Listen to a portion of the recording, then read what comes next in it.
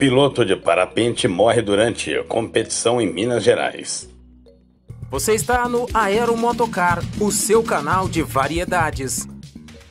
Um piloto de parapente morreu na tarde deste sábado, dia 10 de setembro, depois de sofrer um acidente enquanto competia no Open Araxá de voo livre.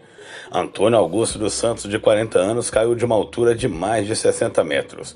Ele era cabo da Polícia Militar do Estado de São Paulo. De acordo com o Corpo de Bombeiros, a queda ocorreu em um local de mata fechada e foi preciso o uso de um helicóptero. Imagens cedidas pela corporação mostram o momento do resgate da vítima. Ainda conforme os bombeiros, o piloto sofreu politraumatismo craniano e quadro irreversível de parada cardiorrespiratória. A morte foi constatada minutos depois do socorro chegar. Segundo a organização do evento, a vítima foi a última a decolar na prova. Ela voava quando o parapente fechou e bateu em uma montanha. Após o incidente, a disputa foi cancelada. A 21 edição do Open Araxá de voo livre começou na última quarta-feira, dia 7 de setembro, na cidade de Araxá, no Alto Paranaíba.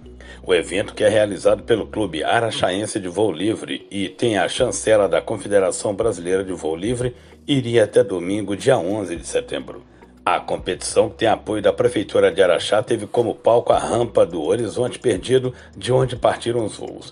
Ao todo, cerca de 100 pilotos brasileiros de fora do país competiram no Open.